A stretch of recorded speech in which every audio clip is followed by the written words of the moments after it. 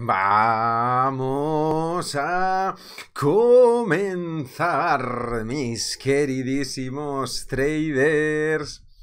Bienvenidos, bien hallados a una edición más de análisis de trading de mercados.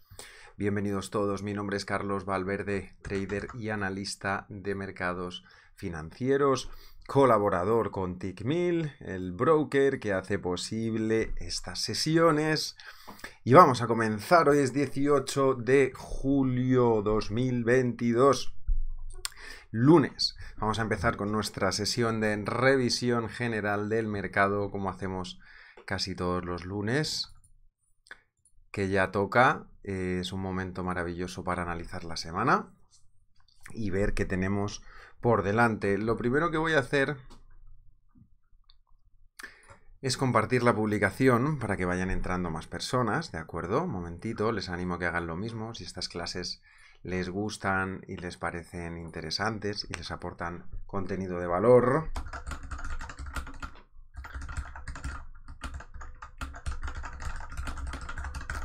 Ya he compartido la publicación, vamos a empezar. Antes de nada, como siempre, ya sabéis que operar Forex, CFDs o cualquier tipo de instrumento es especulativo y de alto riesgo y por lo tanto solo es adecuado para aquellas personas que comprenden y están dispuestas a asumir los riesgos que operar y hacer trading conllevan.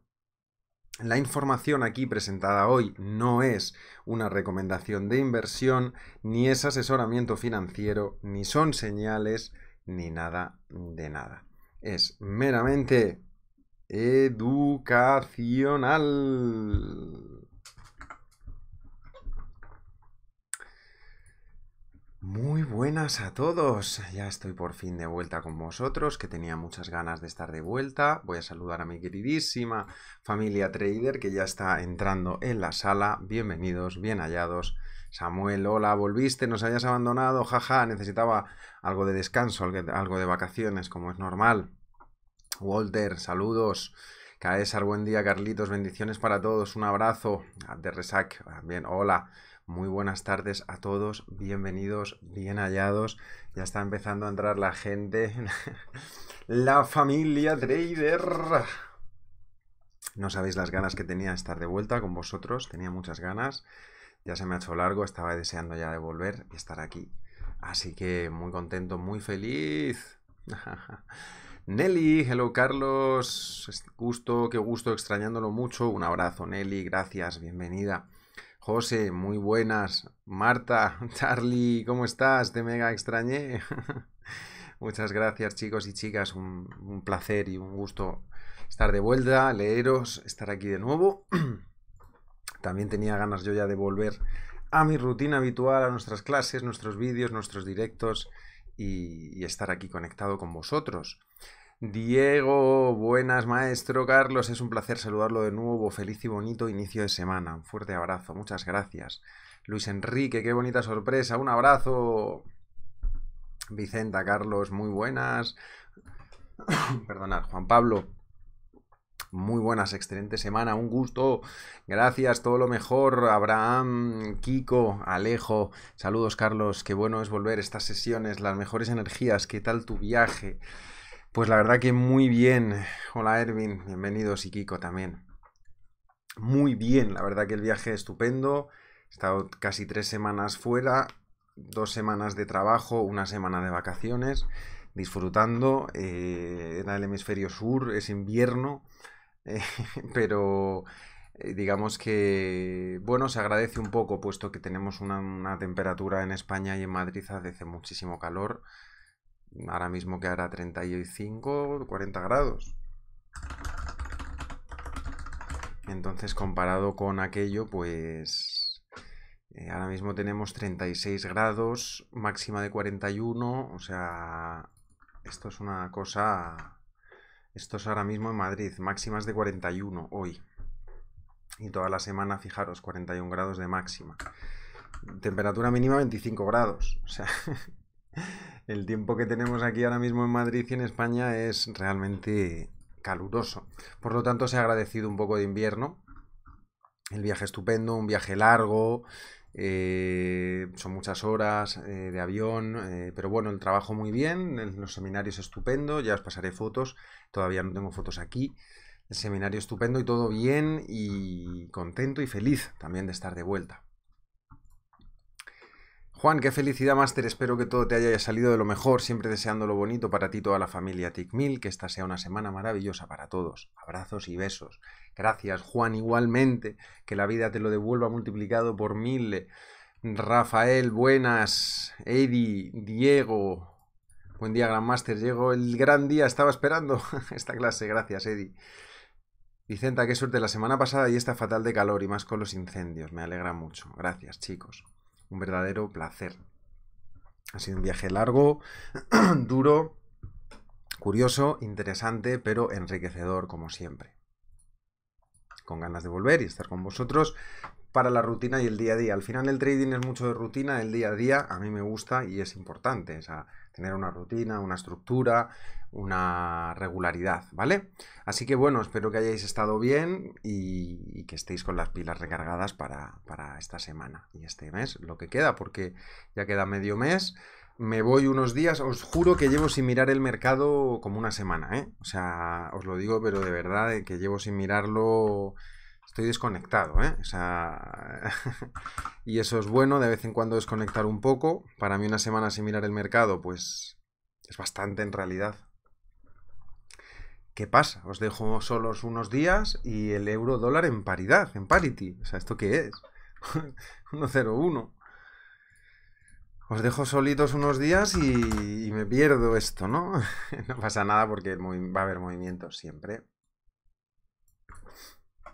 ¿vale? Y realmente no importa, tampoco no es el fin del mundo, pero eso que, justo unos días que me voy el euro dólar a la paridad, a la parity, ¿vale? Es el número más importante, es el número, digamos, más importante en el euro dólar, el número redondo. Estamos en weekly. ¿Vale? Y realmente, bueno, es una buena oportunidad de compra. Ahora lo vamos a analizar. Lo que pasa es que estamos comprando un mercado que, pues eso, está como está. Ahora lo vamos a analizar. Yo no lo había visto, ¿eh? Lo vi hace esto que hace un día o dos. El viernes, el jueves, alguien me dijo euro dólar paridad, míralo, tal. Y justo lo miré. Y bueno, pues hace que no estamos en la paridad desde el 2002. 2002, ¿vale? En el euro dólar. Entonces, bueno, esto es un poco algo que vamos a tratar, que vamos a hablar hoy porque es importante y muy interesante también, ¿vale? Los movimientos que está habiendo. Pero antes, como siempre, vamos a mirar el calendario de la semana. De esa manera tenemos una mejor previsión de las noticias. ¿Qué días hay noticias? ¿Qué día está animado el mercado? Etcétera. Lunes. Festivo en Japón, un dato del índice de precios al de la inflación del neozelandés, que la verdad que no tiene tanta inflación, es el, trimestral, quarterly, 1,7, no tiene tanta inflación como otra zona euro, como Estados Unidos, que tienen en la zona euro 7-8% de inflación, ¿vale? Em, lleva subiendo, sí, este es el trimestral, o sea, los precios comparados con el último trimestre, 1.7 más alto no está mal dentro de lo que está viendo en el resto del mundo de inflación. ¿Qué más tenemos? Mañana por la noche minutas del australiano, que pueden dar algo de política monetaria, ¿vale? Es importante, a veces dan algún, algún comentario y hace, puede hacer mover a la moneda. Habla el gobernador del Banco de Inglaterra, el presidente, el director, Bailey, pero esto es una cena que, bueno, Professional Services Dinner en London, no creo que no suelen soltar muchos detalles importantes en cenas no oficiales o en eventos no oficiales, pero aún así hay que estar atentos. Y lo mismo Brainard también, una charla en Minneapolis, bla, bla, bla. Vale, miércoles, batería de datos del canadiense de la inflación, muy importante. Aquí sí que veis la inflación en Canadá comparativa al año anterior. 5.4%, que aún así parece poco si lo comparamos con el 8% de, Europa o de Reino Unido. ¿Vale? Esto es el anual, yearly. ¿Veis? La Y significa comparativa de año a año. Hace un año los precios estaban un 5.6%, 5.4 fue el último dato, más barato. ¿Vale? Una inflación rampante en escalada alcista desde el inicio de año. ¿Vale? Em, esto el miércoles, puede ser interesante a las dos y media miércoles, el canadiense se puede mover porque son datos importantes. También tenemos el de Reino Unido, bueno, 9%, decía yo 8. Válgame el señor. Esto es decir que tú has perdido 9% de capacidad de compra respecto al año anterior, ¿vale? Un 9.1% de inflación.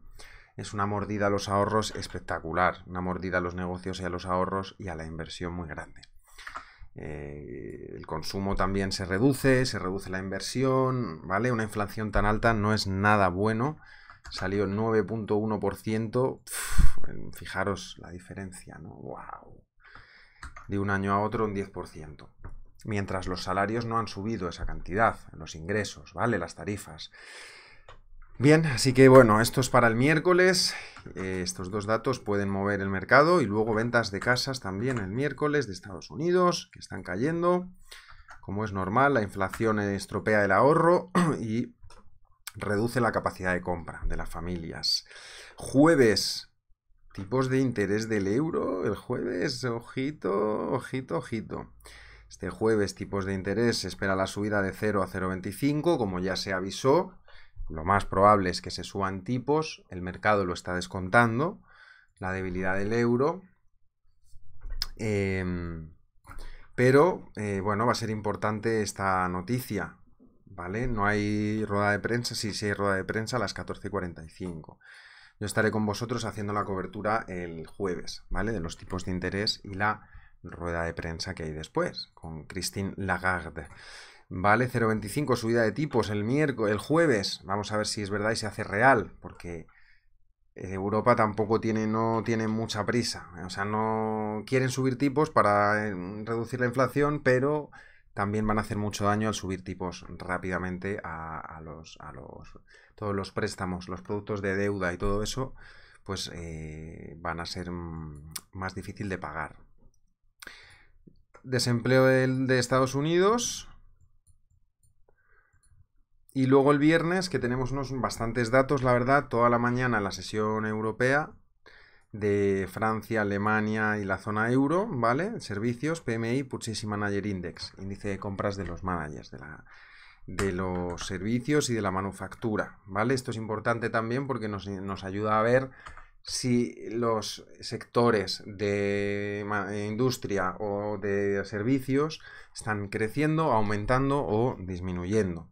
Y lo mismo para Estados Unidos también, ventas minoristas y servicios e industria de Estados Unidos por la tarde, ¿vale? El viernes. O sea que los días que más noticias realmente son jueves y viernes.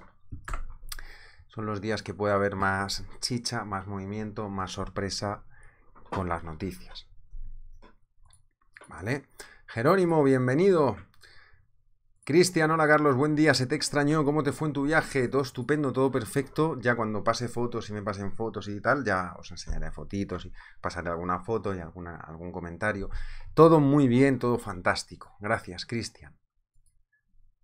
Disfrutando de las vacaciones que ya me tocaba, la verdad. Vicenta dice, sin embargo, la libra está ligeramente al alza. Sí, pero a ver, primero que la noticia esta de la libra sale eh, sale el miércoles, la de la inflación. O sea, esa noticia es del miércoles, sale para, sale para el miércoles, no ha salido hoy. Luego lo segundo que ya sabéis que los mercados también van, no van a ir en línea recta. El dólar ha estado muy fuerte, está muy fuerte, lo vamos a ver ahora. El dólar index. Y claro, pues también un retroceso le... Es normal que le, que le toque, ¿no? Vamos a ver el dólar index, un momento.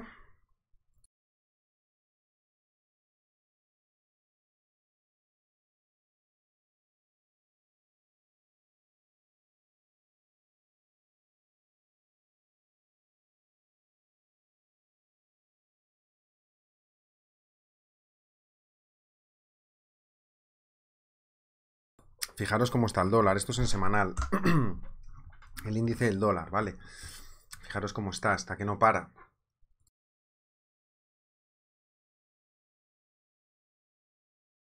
Entonces, claro, es normal que en algún momento tenga que hacer un retroceso los pares de dólar, ¿vale? Es algo totalmente normal, sano, correcto y también Estados Unidos también tiene una inflación, digamos, rampante muy fuerte, entonces tampoco, digamos que tienen inflación tanto Reino Unido como en Estados Unidos, ¿vale? Así pues, eh, hay que estar atentos. Seguir las tendencias y ser listos. Cristian, muy buenos días. Jesús, Andrés, buenas tardes. Un abrazo desde Chile. Un gusto volver a verte. Igualmente, Andrés, un abrazo fuerte. Todas esas personas que nos ven desde Latinoamérica, Chile, etc. Vale, pues ¿qué os parece si miramos los futuros de las divisas antes ni siquiera de meternos en euro dólar y demás? Que bueno, está muy interesante. La paridad es un nivel muy fuerte, la verdad que lleva varios días rebotando desde ahí. 1.01 que esto que son 150 pips, ¿no? Tampoco es una cosa... ¿Vale? 150 pips, el 1 se ha comprado muy bien, ha roto la paridad, euro dólar, ha roto el nivel el 1, parity, rotura falsa, es una rotura falsa, de un soporte muy fuerte, que es el 1, una rotura falsa, y un mini cambio de tendencia en intradía. En 4 horas todavía no tanto, pero claro, en diario pues estás comprando, digamos, el mínimo de la tendencia, que en este caso ha rebotado, digamos, ha funcionado, ¿no? Está funcionando ese 1, ha entrado compra. Esa compra puede ser de gente que se sale, ¿de acuerdo? Esto es importante, hay que remarcarlo. Esa gente puede ser, esa compra y ese rebote puede ser simplemente vendedores que están cobrando y están cerrando. Entonces rebota un poquito el precio. Hay que ver hasta qué punto se, se ha cargado esa compra, ¿no? Hasta ver qué fuerza tiene y también ver los vendedores en qué momento van a, otra vez a empezar a, meter la venta. Pero lo vamos a analizar ahora. El 1 es un soporte muy fuerte, parity, y en principio está funcionando como soporte fuerte. Y yo en intradía sí me gusta para compra, pero me gusta más la libra dólar. Va ligero, que ya lo hemos dicho. Está más fuerte el pound dólar que euro dólar. No hay más que verlo. El euro dólar no hace un nuevo máximo ahora mismo en intradía, mientras que la libra dólar sí. ¿Vale? También se puede ver sencillo de otra manera. Si, Perdón, si analizamos libra dólar en semanal y euro dólar, podemos ver, o en mensual se verá mejor, cómo el euro dólar ha caído más que la libra dólar, ¿vale? ¿Lo veis? La libra no termina de romper, mientras que el euro sí. Lo que me dice, lo que me indica que si ha caído menos, cuando empiecen a subir los precios contra el dólar, la libra tiene más probabilidades de subir más, puesto que ha caído menos. Es tan sencillo como eso. ¿Vale? Adrián, yo también os extrañé a todos, pero ya estoy de vuelta. Un abrazo. Todo bien. Entonces en el euro hay un nivel que es el 10350, que puede querer ir a tocarlo, y la verdad que como compra, pues a corto plazo puede ser interesante que quiera llegar a tocar esa zona, que es el último mínimo importante, zona de breakout, velocidad bajista, breakout, etcétera, ¿no? Entonces son niveles de retesteo interesantes. Y para mí el euro dólar está muy sencillo. Yo solo quiero compras por debajo, ve, perdón, solo quiero vender por debajo del 1.350 pero eso no significa que yo... Lo que digo es la tendencia, ¿vale? Para mí la tendencia es bajista por debajo del 10350. Si el precio llega a esa zona y lo rompe hacia arriba con fuerza, ya podría yo empezar a cambiar la tendencia y decir que me gusta para compras. Pero de momento, aunque, aunque quiera venderlo aquí, de hecho yo quiero vender ahí, en esa zona, ¿vale? 1035. Estoy esperando a que el precio llegue a tocarlo. Entonces estoy, digamos, ligeramente alcista este trozo, un tramo, un ratito, un espacio, pero realmente la tendencia principal es bajista, ¿vale? Voy a estar buscando simplemente un descuento para la venta en esa zona del 10350. Vale, pero antes lo que vamos a hacer es que voy a analizar simplemente los futuros, porque quiero mirar también los índices, alguna materia prima si me da tiempo y, demás. Pablo, Hola, muy buenas tardes. ¿Qué tal? ¿Podrías analizar Kiwi dólar? Claro que sí, por supuesto. Lo que pasa es que estoy mirando los futuros de las divisas, primero, porque es un poco lo que más eh, me gusta, Pablo. O sea, lo, para mí que es muy importante tener claro cada futuro de cada, cada moneda por separado, ¿no? Saber bien si está débil, si está fuerte, si hay una tendencia clara, ¿vale? Estoy viendo también ahora la bolsa un momentito porque ha sido la apertura ahora. Y está haciendo una especie de triángulo alcista en Nasdaq, ¿vale? ¿Lo veis? Que esto es en diario Nasdaq, que puede querer romper hacia arriba también. Eh, esto coincide un poco con el dólar, ¿no? Que ha estado muy fuerte, pues ahora se utiliza ese dólar para comprar acciones también, ¿no? Cambiar de dólar a acciones puede romper el 12.170. Atentos. Pero lo vamos a ver luego, un momentito. Vamos a los futuros. Y el kiwi dólar simplemente, Pablo, la tendencia es bajista y favorecen ventas. ¿Vale? Simplemente. Por debajo del 0.6230 solo quiero ventas. Favorece la venta, ¿vale? Si lo rompe hacia arriba, pues ya cambiaría un poquito la cosa. Podría cambiar. Pablo, hola, buenos días, profesor, un gusto estar aquí. Los índices, ¿cómo los veo? Yo estoy alcista en los índices de Nueva York. El DAX lo veo más volátil. Un segundo, que no me da el DAX. Ahora, ahora, ahora sí. Esto es el DAX. A ver, yo estoy bajista en los índices en realidad.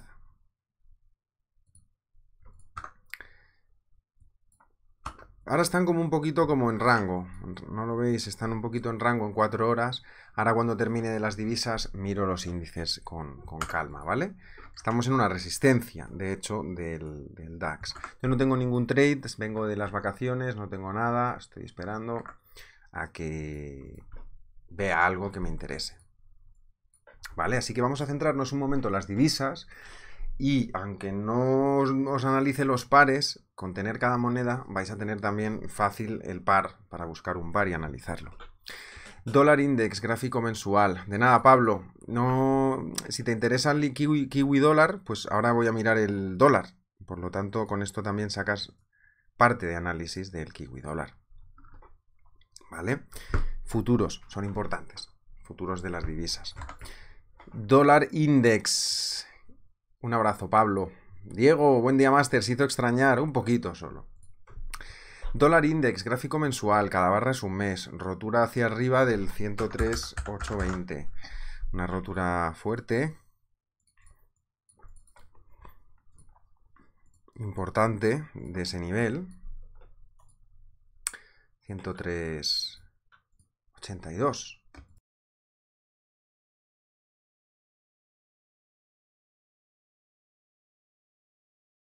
La tendencia es, alcista, claramente alcista, lleva subiendo bastante tiempo sin parar. Y sí que es cierto que, bueno, en algún momento puede haber un retroceso, una parada y demás. Pero de momento yo sigo alcista, el dólar, la verdad. Sigo alcista. Pero hay un nivel interesante que es el 106. Coincide un poco con el del euro dólar también, que es el 106.56 y para mí va a ayudarme a delimitar si quiero buscar venta o compra. Es decir, de momento también se puede utilizar un FIBO aquí, ¿vale? Si os dais cuenta está justo en el medio. Todo encaja perfecto. O más o menos perfecto, dentro de que los mercados también hay mucho ruido, ¿no?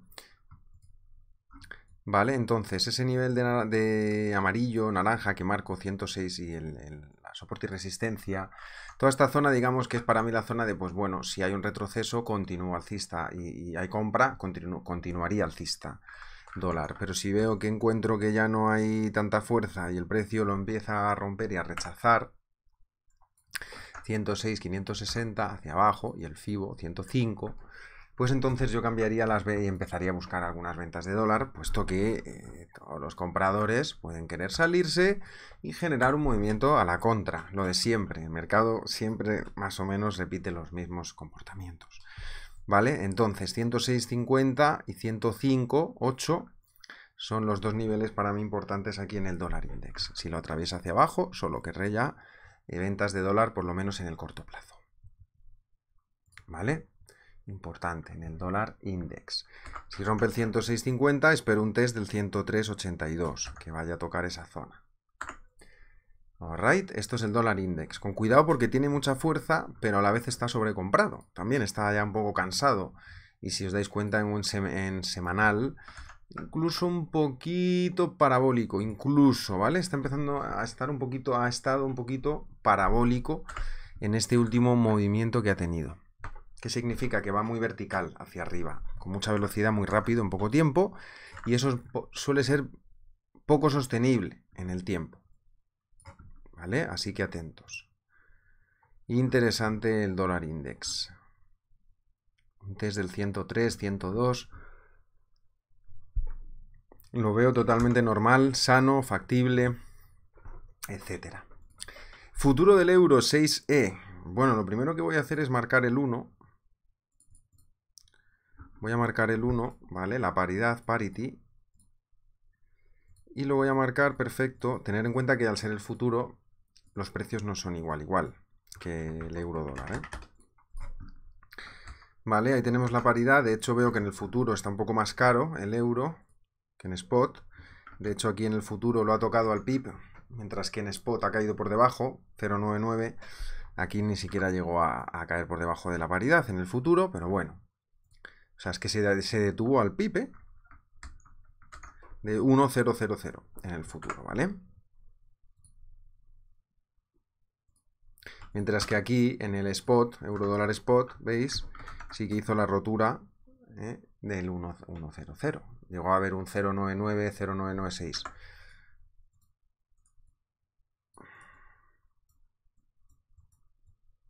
Y fijaros que hubo actividad, hubo volumen, ese resultado es compra, está claro que, que entró compra ahí, ¿vale?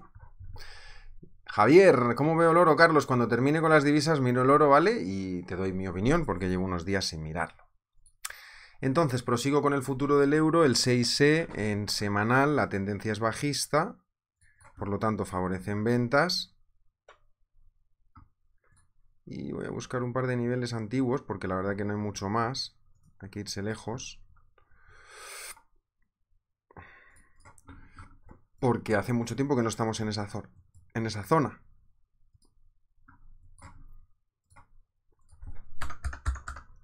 10370 1018 y el 100. Entonces, yo estoy bajista, el euro, lo que pasa que también os opino pues como con el dólar, que también está muy sobrevendido y es normal que pueda hacer un retroceso, ¿vale? Aunque espero más venta arriba. Cuidado con las noticias, la tendencia puede cambiar yo estoy bajista mientras siga por debajo del 1.0370, esa zona de naranja. Pero como ha roto el 1.18 hacia arriba, ya lo ha roto ese nivel, pues espero un poquito de fuerza hasta ese mínimo, ¿vale? Lo mismo que el euro dólar que he dicho. Hasta ese mínimo del 1.03 y luego ya en esa zona yo buscaré venta. Que me da la venta, bien. Y reacciona como yo quiero, bien. Que se lo rompe y se va para arriba. Entonces cambiaría y buscaría compras, ¿vale? Esto es el futuro del euro a corto plazo tiene un poquito de fuerza. ¿Vale? Pero en una tendencia bajista. Entonces ahí está el, tira y afloja, el juego de, del trading, ¿no? De, los mercados. Libra, futuro de la libra en mensual. Está en un suelo muy potente, mínimos casi históricos, un suelo muy potente, el 1.20, en vez de la paridad el 1.2 históricamente ha sido una zona buena para compras, en teoría, ¿no? Las veces que hemos estado ahí ha rebotado. Y yo estoy bajista porque la tendencia es bajista, necesito ver un cambio, pero lo mismo, estás comprando un precio que, pues eh, estadísticamente ha sido barato, ha caído mucho y puede haber algo de revuelta, de compra, un poquito de fuerza, ¿vale? Si se mantiene por encima del 1.20. La libra inglesa pero realmente yo querría para un cambio de tendencia fuerte, necesito ver una rotura del 21.56 con fuerza. Con fuerza al alza, 2156. Y el 2080, ¿vale? Estos son los niveles que, que más eh, me parecen más importantes aquí en la libra. En el momento en el que yo veo que los niveles, eh, que algún nivel empiece a fallar, ya sabéis que es una oportunidad de venta. cuando los niveles luego fallan, se hace la rotura y cae, ¿vale? Como en lo que esperamos, yo espero en el euro. Entonces, a corto plazo tiene fuerza porque está muy sobrevendido, hay algo de soporte, el 1.20, pero la tendencia es bajista. Entonces, en cualquier momento que veamos un, yo vea una rotura, un comportamiento de debilidad, pues voy a reanudar mi mentalidad de ventas, mi mentalidad de tendencia bajista en la libra. ¿Ok? Entonces ahí está el juego ahora con, con estas monedas. Futuro del yen 6J. ¿Qué le pasa al 6J, al futuro del yen japonés? Gráfico mensual, nuevo mínimo, 074, madre mía, wow.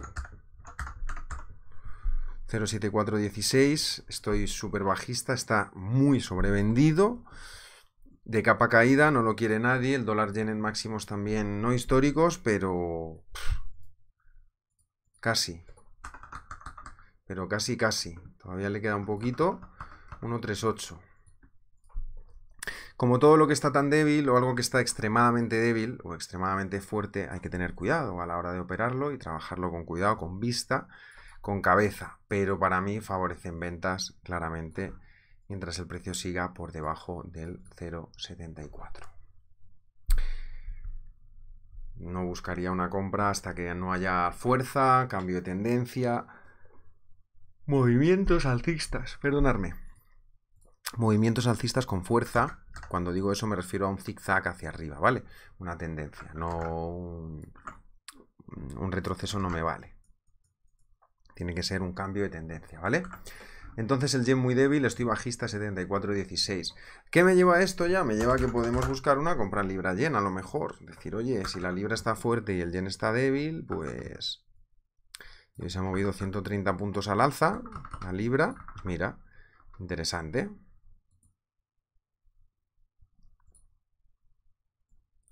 ¿Vale? Interesante. Aquí la rotura del 1.65. Así que atentos, libra, pound, yen.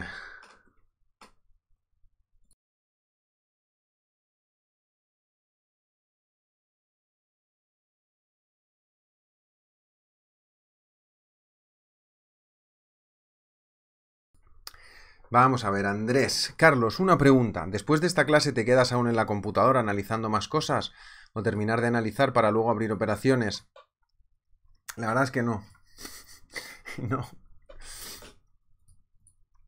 Sofía, muy buenas, Tito Charlie. Ya se te extrañaba. Esperando tengas un excelente inicio de semana. Gracias, Sofía. Un abrazo fuerte. Con ganas de estar de vuelta. Edwin, también bienvenido. Gran Tito Charlie. Welcome, chicos y chicas.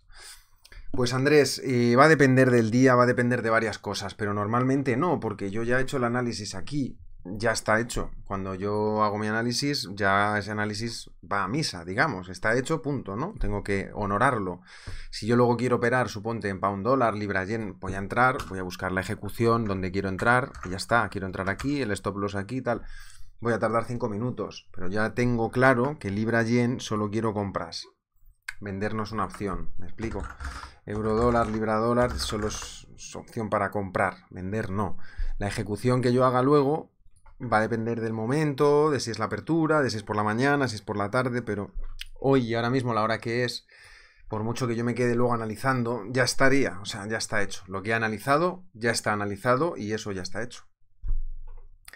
Eh, hoy, obviamente, me voy a quedar me voy a quedar porque tengo que, digamos, que recuperar un montón de cosas, que tengo que leer muchas cosas, muchas noticias, preparar la semana y obviamente sí que me quedo aquí trabajando y haciendo cosas.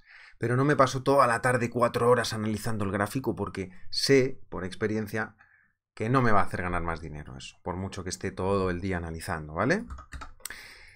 Al principio, cuando estáis empezando, sí que es importante que paséis muchas horas delante viendo el gráfico. O sea, yo me he pasado muchas, muchas, muchas horas todo el día delante, como te digo, en el Libra Dólar en 15 minutos todo el día. Viendo varios pares vela a vela. Luego con el tiempo no lo necesitas, te relajas, ya tienes claro lo que tienes que hacer, sabes lo que hay que hacer. Ya está. Yo al terminar este análisis me quedaré trabajando las cosas que tengo que hacer pero no, no tanto analizando en realidad. Si me falta algo que analizar, lo haré, claro, obviamente. Además es importante que llevéis el análisis y el trabajo hecho luego ya cuando vayáis a trabajar y a hacer trading.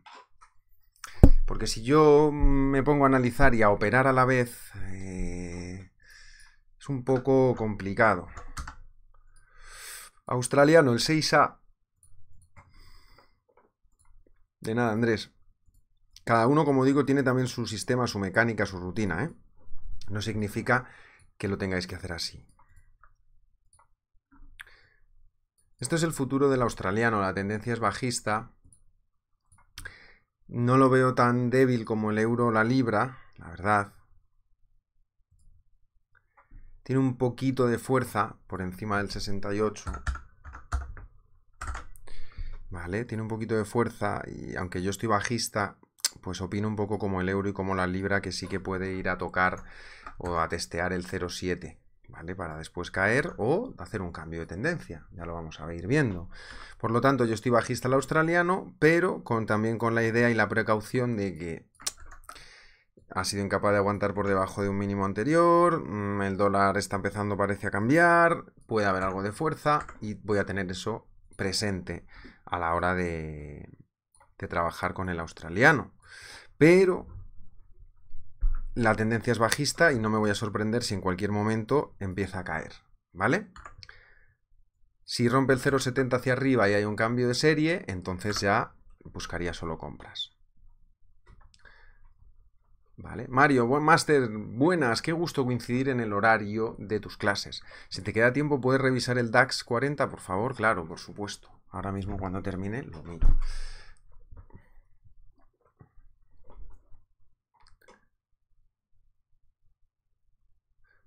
¿Vale? Entonces, esto es el australiano, con cuidado, la volatilidad tampoco es muy amplia, no es muy grande. Vamos a ver ahora el neozelandés, el 6A, el 6N, perdón, que está más débil que el kiwi, que el, perdón, que estoy mezclando ya. El neozelandés, el kiwi, está más débil que el australiano. ¿Vale? Este es el futuro del neozelandés en gráfico semanal. Y la tendencia es bajista, nos muestra una tendencia bajista de este mercado. Ha roto el 618 eh, de toda la subida. Em, hablo del 62.26, ¿vale? Mientras siga por debajo yo solo quiero ventas del dólar neozelandés. Lo veo muy débil y aunque pueda hacer retrocesos, este sí que yo no, para compra no lo buscaría nada. De hecho ya estoy viendo que el primer FIBO en diario, el 382, ya lo está respetando hoy. Estoy hablando del 06182 en el futuro, del kiwi, que es el 6N. Epa. ¿Vale?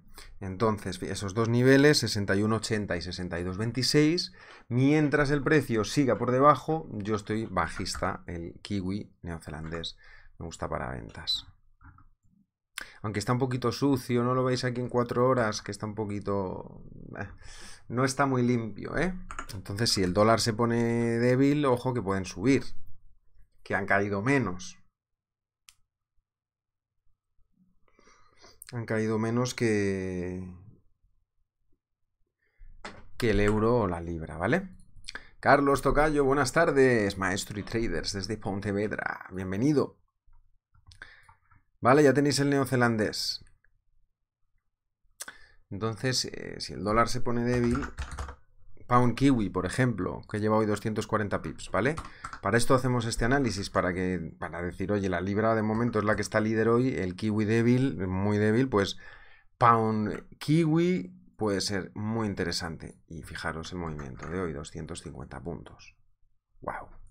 El, el pip vale menos aquí, ¿eh? En el Pound Kiwi. 0,60 creo. Vale un poquito menos los puntos, la volatilidad es mayor, ¿vale? Podemos buscar que vaya a hacer una rotura del 1.09, del 1.97, 1.96. Si no operas hoy o no se ha podido hoy, pues decir, tengo un momento interesante, una está fuerte, otra está débil, pues hoy lo confirma. Vamos a ver mañana si rompe o, o qué, ¿no? Para tener todo esto siempre presente, es importante. Pound Kiwi está interesante. Vale, me falta el futuro del canadiense, el 6C.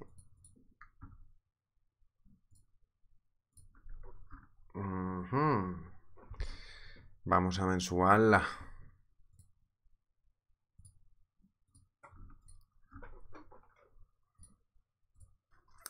Pues a ver, está soso, tampoco me gusta mucho. Esta semana hay noticias. Está un poco soso, no termina de romper hacia abajo. Tiene aquí como una especie de canal bajista, pero que no termina de acelerarse a la baja. El 0.7650 aguanta. ¿Vale? Por lo tanto, estoy ligeramente alcista siempre y cuando que siga por encima del 0.76. Aunque realmente la compra fuerte es eh, cuando rompa el 77.52 hacia arriba. Cuando rompa ese nivel hacia arriba con fuerza, sí que pudiera haber un cambio de tendencia, pero como no ha habido luego continuación, ya no me fío, no me lo creo tampoco, ¿vale? No le veo muy direccional al canadiense. Le ve un poquito soso, aburrido, sin gran ímpetu. Por lo tanto, yo estoy bajista. ¿He dicho alcista antes? Sí. Mirar cómo lo voy a hacer. Como no lo tengo, no lo tengo muy claro, en realidad no lo veo muy claro. No está muy claro. O sea, para mí favorecen ventas. Solo voy a buscar una compra cuando rompa el 77.52 al alza, que estaría aquí o una venta fuerte si rompe el 76.50 a la baja. De esa manera me despreocupo, lo dejo que se desarrolle, que se aclare y él verá lo que hace, que decida el par, la moneda, ¿vale? El canadiense. No me gusta mucho, no lo veo muy limpio, estaría a la espera. Estos son los dos niveles importantes del futuro. Los marco, me espero a que los atraviese y hasta que no salga, perdón, hasta que no salga de ahí no voy a tocar nada. Alright?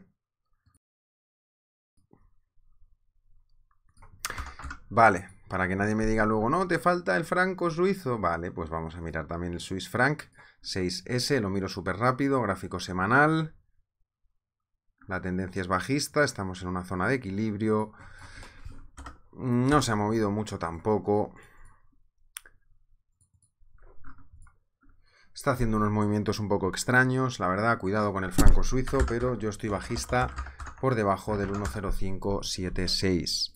Mientras el precio siga por debajo de ese nivel, solo quiero ventas del franco suizo. Cuidado eso sí con los mínimos, que sí que los veo ascendentes. Pero igual la tendencia no ha habido cambio, porque esto es un cambio falso. Aquí no, se, no hay confirmación, me explico.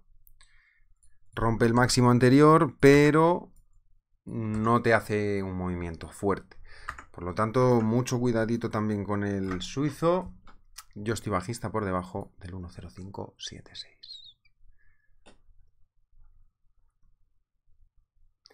Y estas son las divisas. Ahora con cada información, con la información de cada divisa, yo puedo mucho mejor saber que libra dólar prefiero ventas, pero prefiero no tocar nada si el dólar está débil y el kiwi también, el neozelandés. Voy a preferir libra neozelandés para compra, libra yen para compra, eh, ¿vale? Seleccionar esos pares. Mezclar monedas fuertes con monedas débiles. Listo. Forex hecho. Done.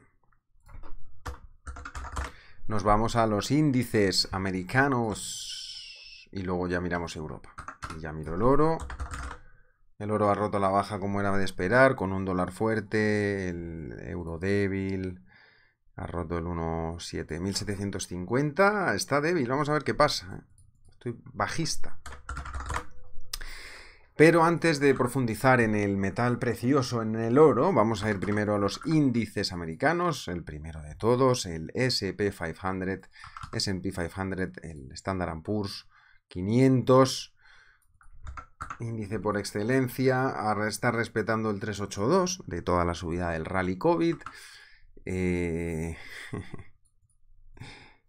pero tampoco le veo con mucho ímpetu, no le veo con mucha fuerza. Parece que ha querido cerrar ese gap y ya está. Este Fibo ni lo necesito. Yo sigo bajista los índices, la verdad. En este caso el 4000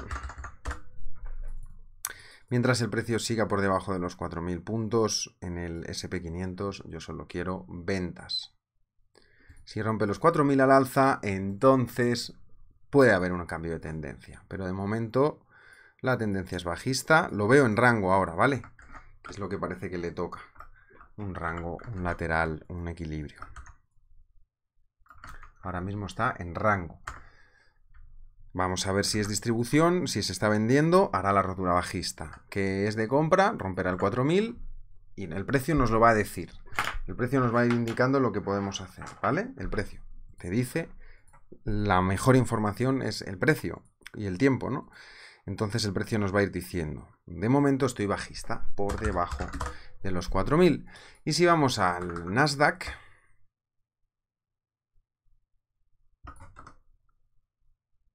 y tiro el mismo FIBO, está más débil, está por debajo del 382, si os dais cuenta, en, comparación con el, con el índice SP500 que acabamos de ver. Y lo mismo, estoy bajista, este índice lo veo en una zona de equilibrio, 12.200. Aunque ya sabéis que las tecnológicas también eh, se mueven más, son más volátiles, tienen más movimiento, más locura y puede haber movimientos más fuertes y más volátiles. Pero yo la verdad que sigo bajista mientras el precio siga por debajo de los 12.900 puntos. ¿Que rompe los 12.200? Sí, puedo tener algo de compra, un poquito, algo de fuerza, pero el nivel clave crítico para mí, 12.900. Es decir, que le espero que aunque vaya a tocar esa zona, para mí la tendencia seguiría siendo bajista, eh, puesto que es una zona de resistencia muy fuerte. Sí, tengo el triángulo, sí, tengo que tener cuidado con este triángulo, pero yo esperaría venta en el 12900. ¿Vale? Ya está, lo sigo viendo muy bajista. También al, al índice de Nasdaq. Alright, niveles para ventas de rotura bajista, 11.764. Ok, perdonad, 11764 para un breakout bajista es un nivelazo. Yo estoy bajista en Nasdaq. Con cuidado, con precaución, como siempre. Y ahora el DAX alemán, y ya paso al oro. El DAX alemán que me habíais preguntado. Esto es el DAX en mensual. Y yo voy a marcar cuatro cosas, dos o tres cosas. Un FIBO de todo el movimiento, soporte y resistencia limpio y ya está, no necesito y leer la tendencia. Yo estoy bajista, claramente, mientras el precio siga por debajo de los 13.100 puntos. ¿De acuerdo? Y también de los 13.600. Toda esa zona que marco de azul es una zona de ventas para mí, en realidad. Es una zona de resistencia. De ventas. 13.100 y 13.600.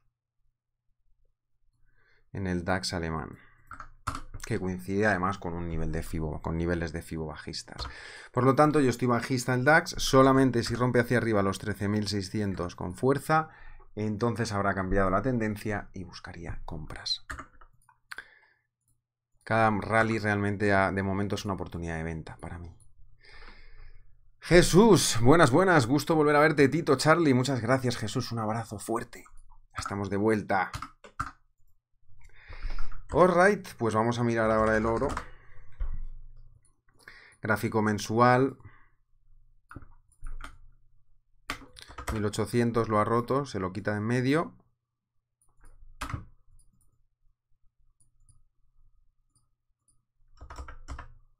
Zona de equilibrio, lo ha roto, dólar fuerte, las monedas débiles, las commodities un poquito en retroceso y qué deciros, yo estoy bajista el oro por debajo de los 1750, 1800. Yo estoy bajista el oro siempre y cuando que siga por debajo de esa zona de equilibrio que veis ahí. 1750. Pero atentos porque bueno, tampoco la tendencia es bajista, pero estamos en una zona que todavía hasta que no supere los 1678 a la baja, todavía ese nivel mantiene un poquito la compra, ¿vale? Ese mínimo. Tenemos doble techo y demás. Entonces, estar atentos. 1.75, 1.720 las resistencias. Estoy bajista mientras siga por, por, debajo de esos niveles. Y lo que quiero es ver una rotura fuerte también que confirme del 1648. Eso sí que me confirmaría, si lo rompe y se mantiene por debajo, me lo confirmaría la tendencia, puesto que ya es una rotura del mínimo del 2021 y ya estaríamos en precios del 2020. ¿Vale? Ya serían precios del 2020. Si consigue sacar el 1648. ¿Vale? Ya son precios de hace dos años, ya es como un, mínimo nuevo, terreno nuevo, hace tiempo que no estamos, tal, tal, tal, tal. 1648. Un retesteo al 1750, pues puede ser factible, también parecido a los índices para buscar una venta y al euro, ¿vale? También a la libra. Un retroceso para buscar una venta más arriba. Que vemos que el dólar está debilísimo, que se pone súper débil y parece que el dólar va a caer mucho más de lo que debería o de lo que esperamos pues entonces ya hay que ver los cambios de tendencia que podamos tener, tanto en euro dólar como en oro, como en libra dólar, ¿vale? Que también es una opción. O sea, es una cosa que yo no dejo de, no me quito, digamos, esa idea, ese escenario, de que el dólar, lo veis aquí, rompa fuerte 106, 103, 104, que empiece a caer con mucha fuerza y todo suba contra el dólar. Eso es algo que también tengo en cuenta ese escenario que puede suceder. Sofía, ¿el oro en gráfico semanal se estaría confirmando ese Batman, Tito Charlie? No, todavía no. A ver, ha roto ese mínimo, pero por eso estoy marcando el 1680, ¿vale? Es un patrón muy grande, muy amplio, de mucho tiempo. Y por eso eh, este es el Batman que dice Sofía todavía necesita romper eso, realmente, ¿vale? Todavía tienen que, tiene que, tiene que romper ese 1686, 1700. Ha medio confirmado porque ha roto la parte de arriba, 1750, pero le falta la parte de abajo. Porque esta, este mínimo es parte del patrón, del Batman también, ¿no? O lo dejamos fuera. Realmente estaría todavía dentro del, patrón todavía, ¿lo veis? Todavía estaría dentro. Técnicamente, si hablamos objetivísimamente. La confirmación es cuando rompa este nivel y caiga con fuerza. Hendrix, muy buenas. La verdad es que estoy cerrando, ya llevo una hora. Llegas al final justo, qué pena. Tendrás que ver el vídeo, la grabación. Juan, Carlos, buen día. ¿Qué pasará con esas 30 millones de toneladas de oro que encontraron? Pues bueno, ¿qué pasará? Primero que lo tienen que sacar, lo tienen que extraer, lo tienen que refinar, lo tienen que cocer, hacer lingotes, venderlo. 30 eh, toneladas, 30 millones de toneladas tampoco es tanto. No pasa nada. No va a pasar nada. Tranquilo. A ver, sí, es bastante, pero tampoco es una cosa que...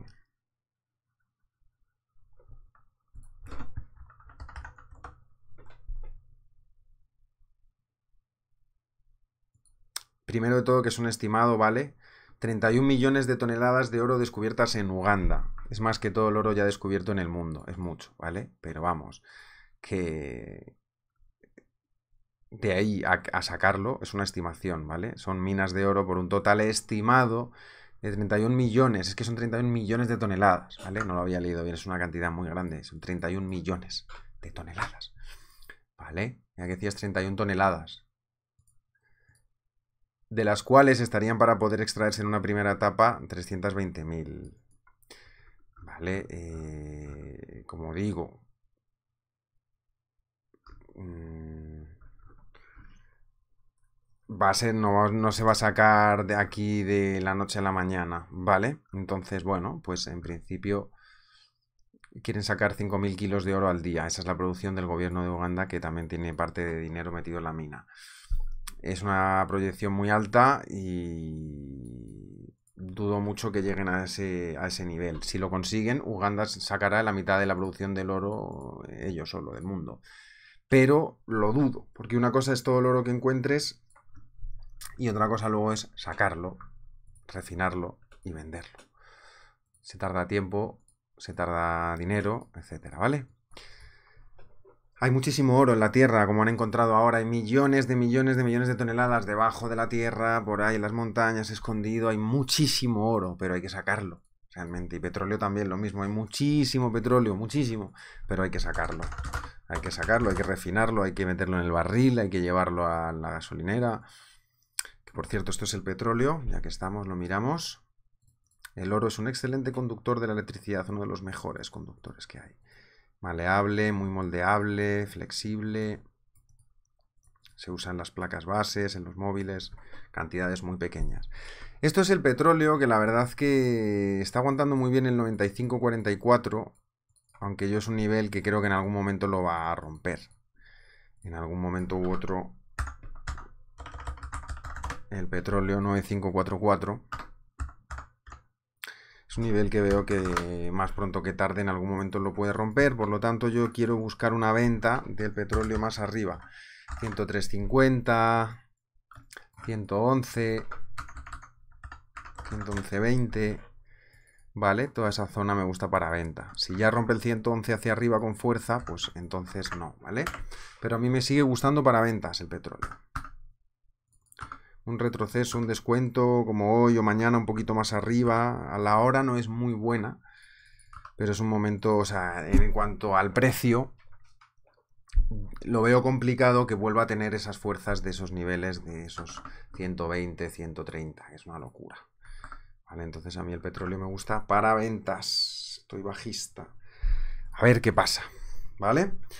Y ya estaría, chicos y chicas. El Bitcoin plano, fijaros también que está aguantando ahí los 22.000, pero tiene bastante debilidad también, ¿vale? Chicos y chicas, ha sido un verdaderísimo placer estar aquí con vosotros de vuelta de nuevo. Qué alegría, qué alegría, qué alboroto. Perrito piloto. Estoy retomando la inercia. Siempre que vuelvo una semana después, siempre me, cuesta hasta que me conecto con el mercado otra vez, que rápidamente se conecta uno, pero de decir, ¿qué ha pasado? Me he perdido una semana sin verlo. Euro dólar en paridad, parity. A ver qué pasa.